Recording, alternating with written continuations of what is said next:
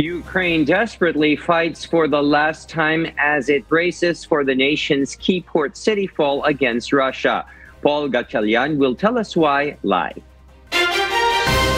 Yes, uh, Paul, good evening. Go ahead. William, Ukrainian uh, armed forces called today their last battle against Russia after its capital city Mariupol gets completely surrounded and overpowered by the Russian forces. The armed forces added that it is death for some and captivity for the rest of the nation. Ukrainian President Volodymyr Zelensky continues to plead for military assistance from its allies, making it clear that their resources are simply not enough to defend the city against the invasion. продуманою тактикою. Але якщо говорити про необхідну зброю, ми все ще залежимо від постачання від наших партнерів. На жаль, ми не отримуємо стільки, скільки необхідно, щоб швидше закінчити цю війну, щоб повністю знищити ворога на нашій землі. Zelensky also pleaded to South Korea's National Assembly, where he told lawmakers that Mariupol and its citizens were completely destroyed and burned to ashes, with tens of thousands of lives lost in the battle.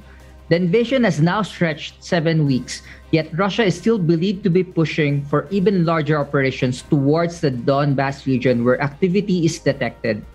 Defense Ministry spokesperson Motuzyanyk on Monday stated that their preparation is almost over French investigators have since arrived in, U- in U- Ukraine to investigate suspected war crimes and perpetrators, including the Russian president himself and 500 other suspects. William? Yes, uh, Paul, are there any other insights with the invasion, particularly in the city of Mariupol?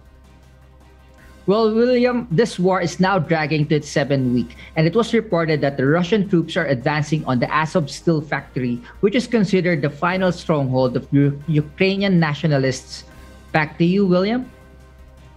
Yes, uh, thank you, uh, Paul Gatchalian, reporting live.